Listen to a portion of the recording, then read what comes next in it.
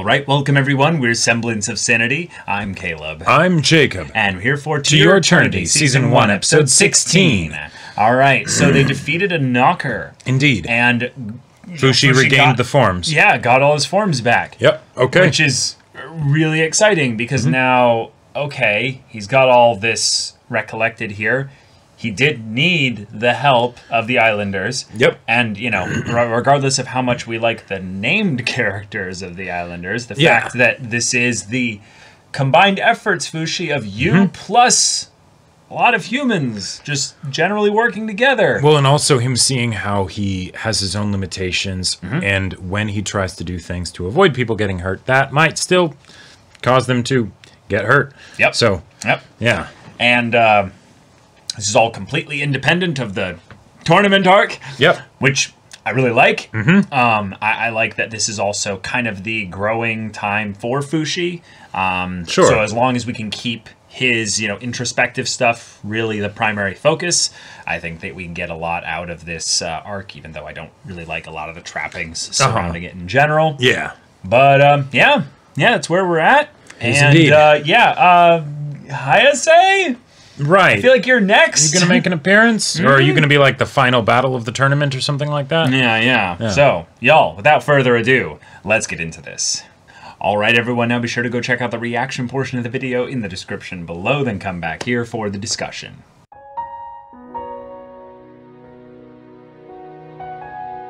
All right. Okay. so we got Tonari backstory. Lovely. Which I, I gotta say, I appreciated that. Like it, Mm-hmm. it didn't do a ton to like change my perspective on this arc as a whole. Yeah. But it's something where if we're going to have Tonari as the real secondary character to this arc, right? You know that, that Fushi is interacting with. We needed this. Like, we badly. needed this badly two episodes ago. You know, like like you know. So so the fact that we're getting it, okay, Yeah. cool. and the, this is a this is a this is a very important thing because um, there was no reason for her backstory to be given here Nope. story wise as opposed to any other time It She's was not- literally her just thinking to herself as she writes in the book. yeah she's not telling Yeah. us or the sorry she's not telling any characters about this And that's and this is one of the things that's kind of um it's a problem of the structure of it's the arc I it's say, yeah less it, her character It, it can be it can be a, a, little bit frustrating because that the, that backstory is basically used to try and give more understanding to the audience, but it doesn't give any new understanding to Fushi. yeah so it's no So- progress again So he doesn't really have any reason to treat her any differently, other than the fact that there was that whole thing of the people helping him in the previous episode against the knocker, which and her cool. kind of apologizing and being like Yes, hey yes, I, I would have got i would have understood if you didn't come here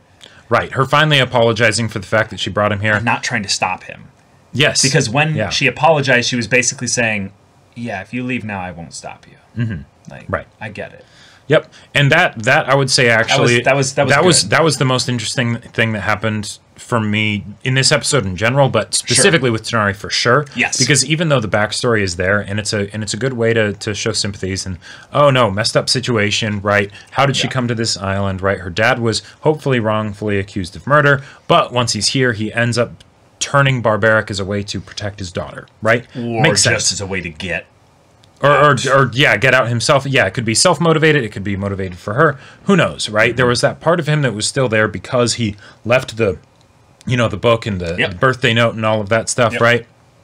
But you know, didn't end up working out because, of course, it doesn't, right?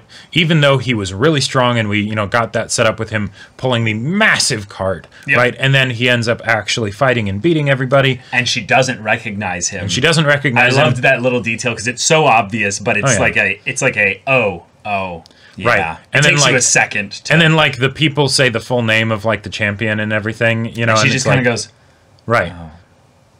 Yeah.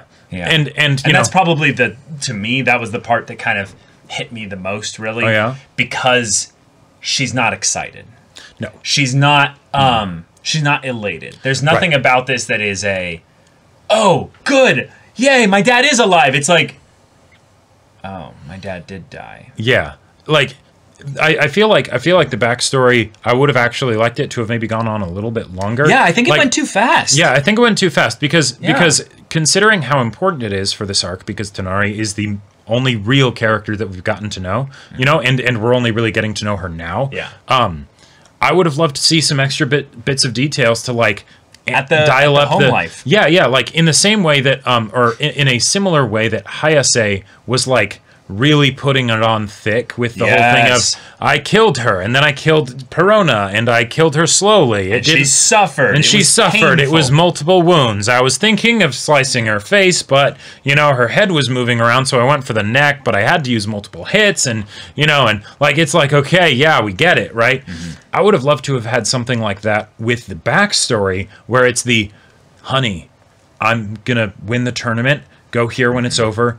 Don't watch. You know, right? Like she like, watches. and then she's like, no, no, no, I'm gonna cheer him on, you know, and Right, then she right. sees what happens, right? You know, just just like little bits of extra details that I feel like could have been thrown in there to like make it land because because we we know kind of where it's going to go, Yeah. right? So so just bringing like doing that that highlighting of of all the emotional beats would have been nice. And and I understand the idea that because she wants to be a writer, she wants to write a book to show her dad, which is really sweet, and Mm-hmm. thus the journal entries are her reason for expositing in her thoughts to us, the audience, about her past that brought her to this point where she can potentially dream again. Yep.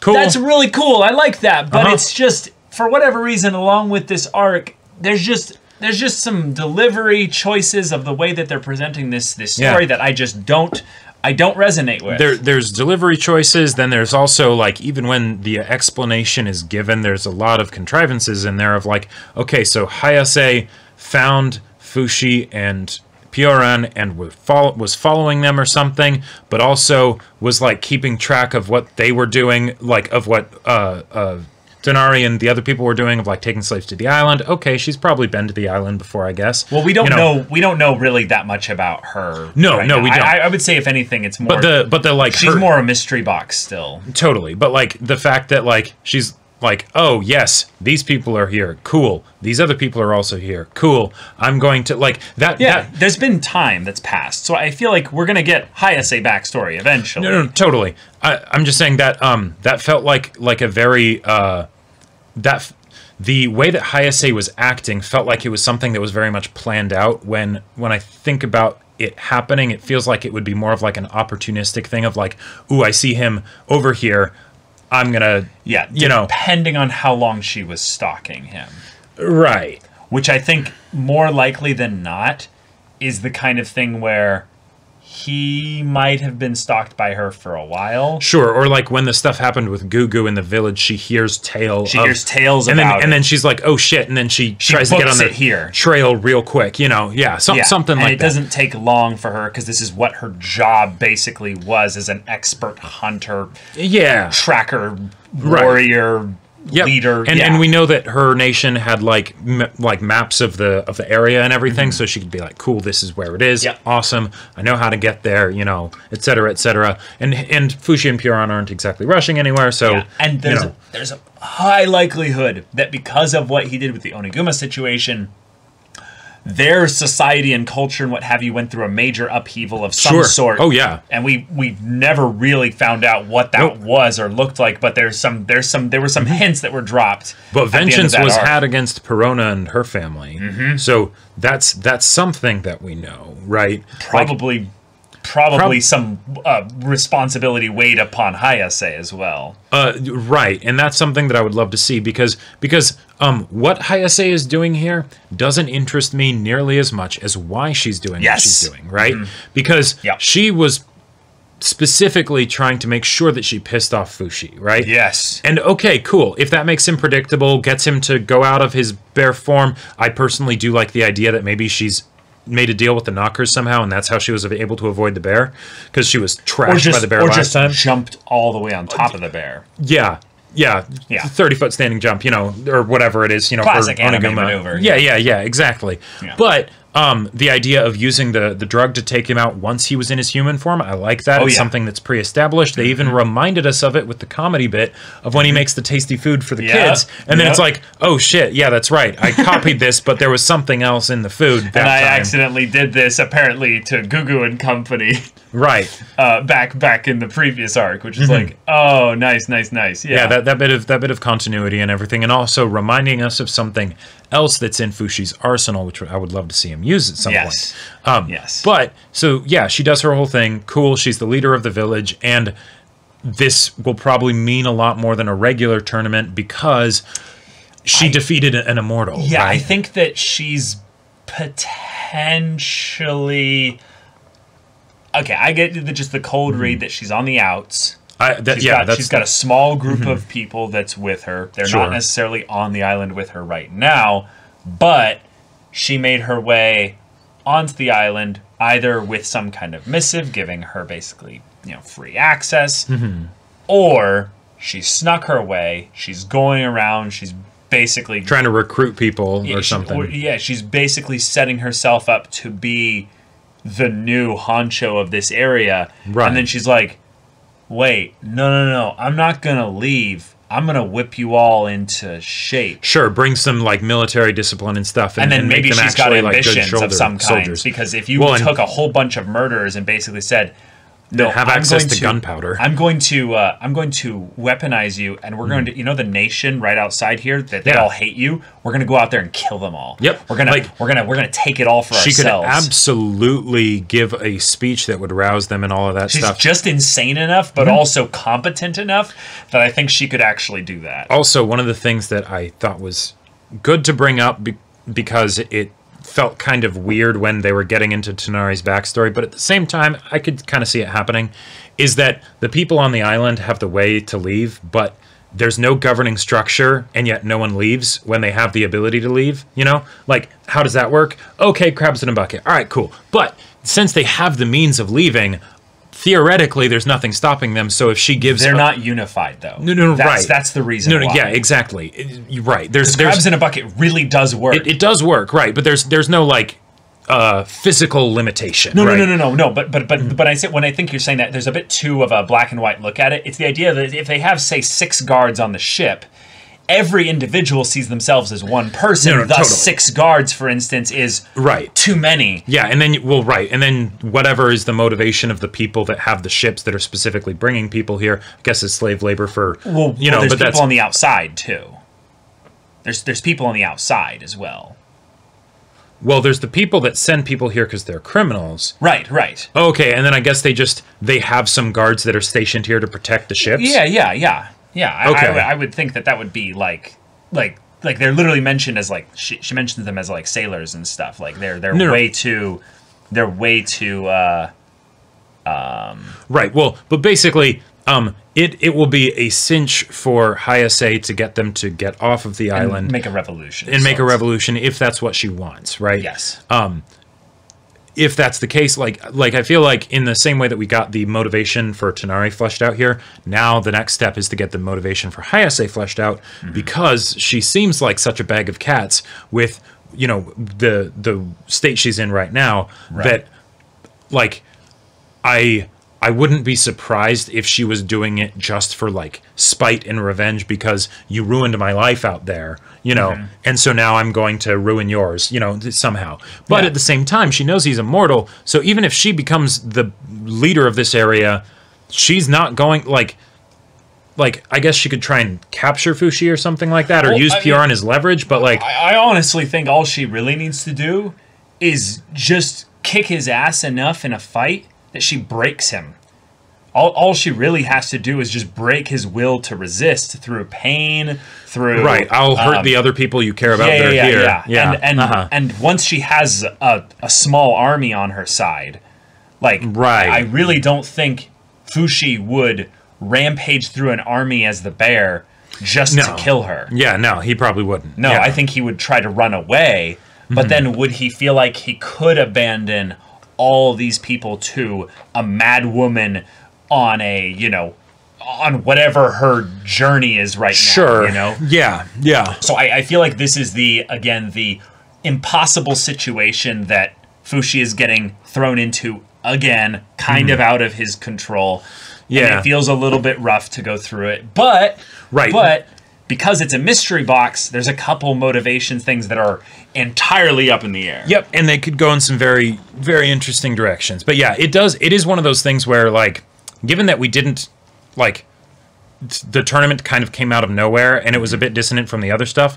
The fact that it's also going to be ah now there's a surprising upset feels kind of like Well, yeah, we. I don't Yeah. think it was really a surprise. It was one of our main theories that No, no, ISA no, was going to be not the that- surprise, uh, you know, not that- final boss of the tournament. no, right. Not that she's going to be here, but that she's actually going to be able to win. Oh, Um, oh, I, you know, I, I like- genuinely thought that there was a like a, a clear coin toss of just how they decided to write it. Uh, Because well, I, I- I thought that maybe she would just be done in the next episode.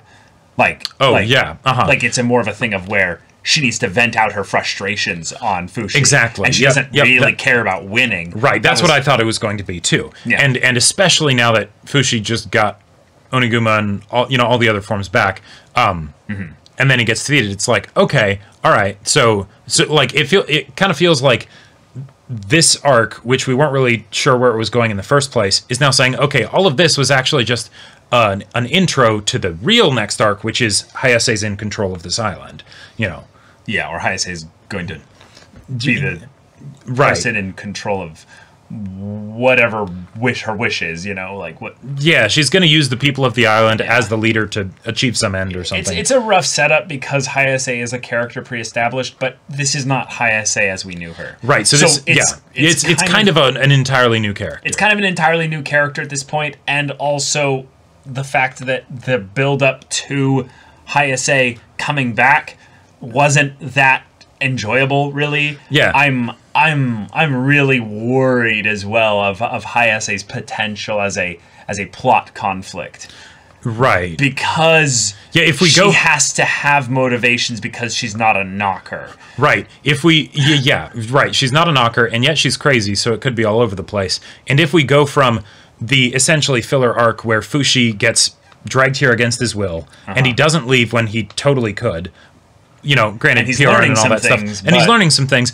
But then, like, let's say after this, because she doesn't want him to oppose her regime, okay, I'm going to throw you also in a cell and try and make sure that you're like dosed regularly so you can't escape. You know, Yeah, we'll- we'll see. I don't know, but Yeah, it's Yeah. it's interesting, but uh, uh, we we've got we've got a, a, a number of episodes left in this first season here, so it's Yep. now just going to be the question of whether this is the first half of the arc or this is the uh, actual like end transition to a new type, Right, arc, yeah. but with the same characters maybe. So, mm-hmm. y'all, thank you so much for watching this episode's reaction and discussion. If you want to see the next episode's reaction and discussion right now, though, go check out the link in the description below for our Patreon. You can get an early access there. You can watch full length timer reactions there, and all this comes with Discord access, so you can chat with us in the community there about this show, about anime in general, and also be sure to check out our Twitch channel. we stream every weekday. The info's in the description. yeah, so if any of that interests you, we'll see you there. But until then, we're Semblance of Sanity. I'm Caleb, I'm Jacob. and we'll see you all Next time.